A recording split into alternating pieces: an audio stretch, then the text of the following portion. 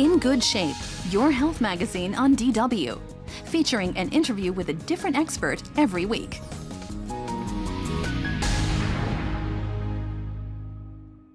I'm here with Dr. Ebersbach in the Movement Disorder Clinic in Beelitz-Heilstätten. And we've got music here, We've got patients doing exercises. So, so what happens here?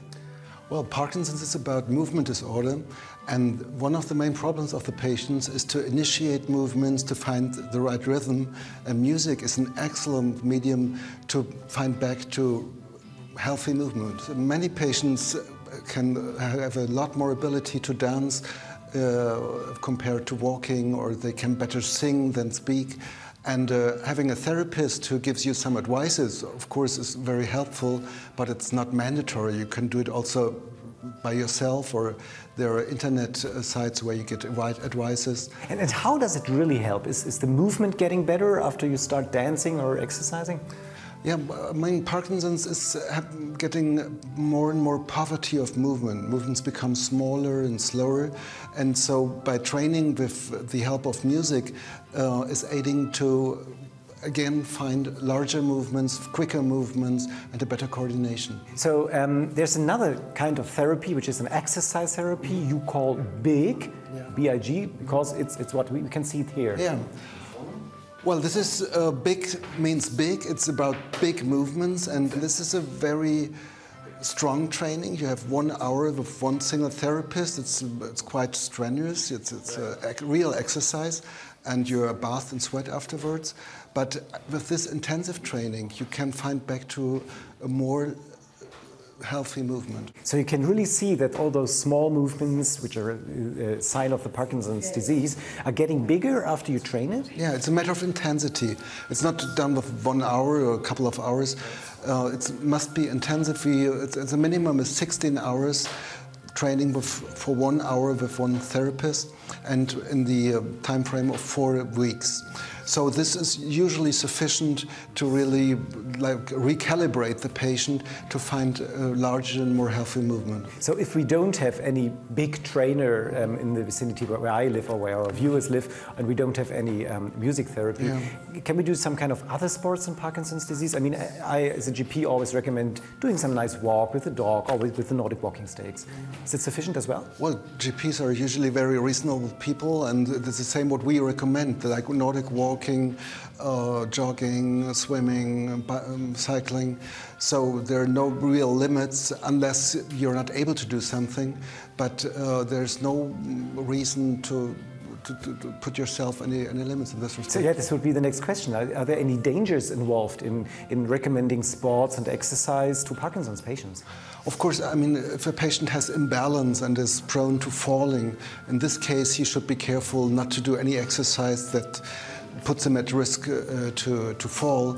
But apart from this, you can do any sports and you can even exercise uh, strong and, and uh, yeah, no.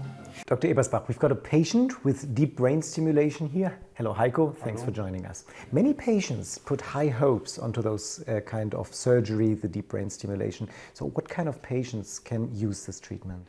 Well, paradoxically, it's exactly those patients who have excellent drug effects it's not those patients who have symptoms who can be, which can be solved by anything, but it's patients which have a good drug effect, but which is unstable. So patients have response fluctuations.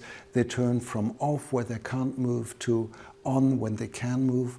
And this up and down is very strainful for patients. And in this situation, a brain stimulator can provide more stable, more stable state of, of movement. So you, you can actually turn off the deep brain stimulation right now um, and we can see how your tremor is after switching this thing off. If you agree. So is it okay if we switch yeah, yeah. the pacemaker off? Okay. Yeah, okay, good.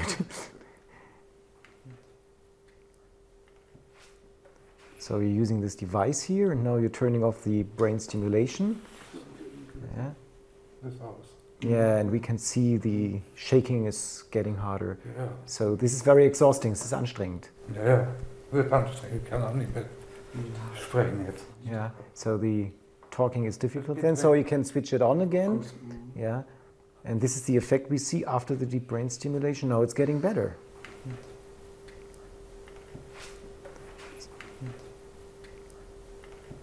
It's really good that you that, that you've got this. Thing. Es ist gut, dass es ist gut, dass Sie diese Operation hatten. Ja. The normal gold standard in treating um, Parkinson's disease is medication. So, so what kind of options do you have? Well, we still use levodopa, which was introduced into Parkinson's therapy 50 years ago, which is very effective, but after some years of treatment becomes unstable in its effect. So you need you to develop response fluctuations, and patients get off. They can't move, then they get on again and can move again. In the internet, you can now see a video of a patient with Parkinson's disease who is using marijuana to cure his symptoms, and um, actually, it seems to be quite effective. So, could marijuana be a treatment option? Well, actually, I think this is sort of a hype which is presently occurring with marijuana. Um, this video probably shows more the vanishing effect of one levodopa dosage more than cannabis um, effects. And uh, there are about four controlled studies assessing the effects of cannabis and Parkinson's, and they do, not provide a very consistent effectiveness. So I don't think cannabis will have a very large role in Parkinson's treatment. Parkinson's disease not only affects old people, it affects younger people too, around the age of 40. And we got a viewer question from Nigeria. Jeremy Okpanachi wants to know if um, American football players or boxers have a higher risk of developing Parkinson's disease. It's not the sole cause. It's not that you can say boxing or football playing has caused the Parkinson's disease in this individual person. But uh, talking about probabilities and risk, that, that's true.